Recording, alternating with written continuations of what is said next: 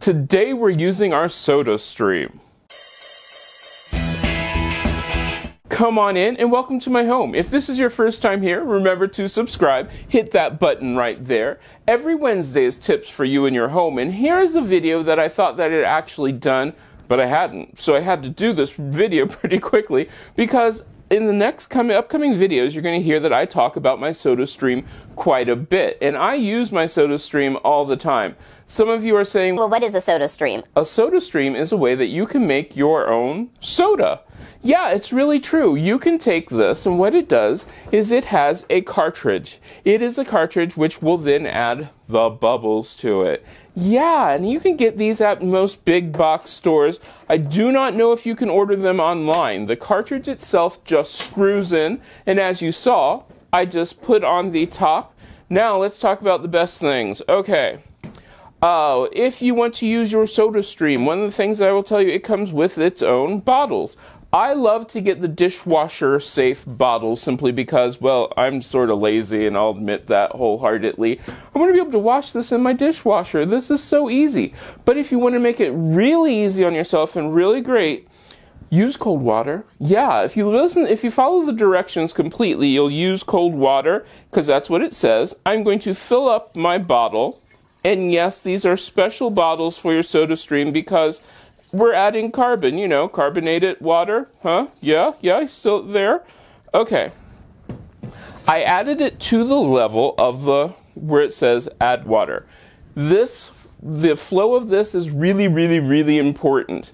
These are so easy to use, so wonderful. It's I mean, it's just so quick and everything, but follow the directions. Do not add your soda stream flavoring, which I'm using the lemon lime. Now, here's something which is really interesting. If you hit that eye in the sky, you can tell me if you'd like to see me make some flavorings that you can use in your own soda stream. Uh, if you want to get one, or you can use it with just carbonated water. And I'll tell, I can teach you how to do that, but I need to know if you're interested.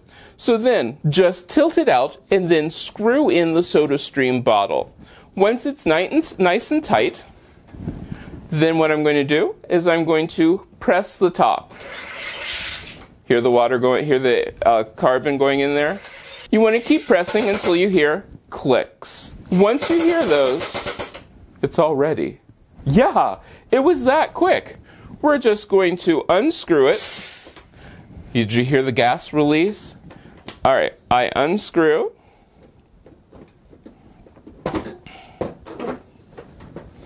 Sit that off to the side, and you can see all the bubbles in there. Now, we take our flavoring. This one has this one is for our great size, so we know how, how much to use in it. The cap itself has two lines on there. I know that I'm going to go up to the second line for this size bottle. Really easy so far, right? Remember to follow the directions for your bottles because they do make smaller bottles. And I'm going to gently pour this into our bottle. If you pour in too fast, what can happen? it can flow up all over the place. Yes, the carbon will the the carbonated water will then take over and it will flow up everywhere. Now, here's one thing I've also learned, and this is from experimenting. I'm going to gently rock this back and forth. Why do I not want to shake it? Yes. Yes, it's exactly what you think, because it is carbonated water.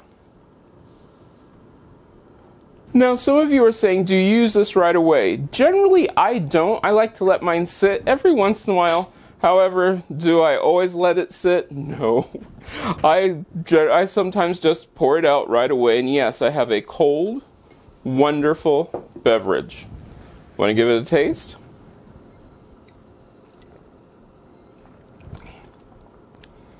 lemon lime, lemon lime soda. Now you're asking yourself, well, what? How does this compare to buying soda? Uh, realistically, I think it's comparable. The cool thing about this is I can adjust the flavoring. If I don't, if I think it's too sweet, I can cut down on the amount of syrup in it. If I think it's not sweet enough, I can add syrup to it. I can make my own flavorings, or I could just simply do plain carbonated water. You're saying that's all, you're surprised that's all there is to it. It is. That's all there is to it. Using your soda stream is so easy. Now, the things to remember. Do you need these special bottles? Yes, because of course it will expand because it's carbonated water. You need to have the special bottles. The flavorings, there are all sorts of flavorings. I'm sure I have them listed down below in my Amazon affiliate link. The soda streams have changed. I got mine about, oh, maybe two years ago and I use it all the time. I mean, I use this all the time. I rarely ever buy just soda. I like to keep sometimes the bottles around just in case, you know, I use it and then want to make more. I have two of these on hand at all times so that I can use it.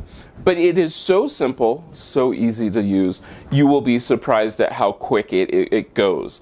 If you have questions about this, let me know. If you have a soda stream or you get a soda stream, you can get a hold of me on most social media at CM Coleman Home. I'd love to hear how you use your soda stream. And like I said, if you want to know about making, uh, if you want to have some idea about making some syrups of your own for your soda stream, let me know down in, in the comments too, or you can go back and take the poll again. And I hope I get to see you again next time.